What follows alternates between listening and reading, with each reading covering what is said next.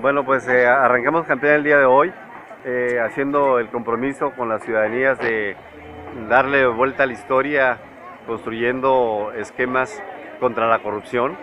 con un gobierno honesto, de un trabajo de muchos años que la ciudadanía conoce en los tres ámbitos de gobierno, en los tres poderes del Estado. Y finalmente eh, identificar esos requerimientos en lo que concierne al desarrollo social, al desarrollo económico. Eh, un aspecto fundamental es la seguridad pública, eh, otros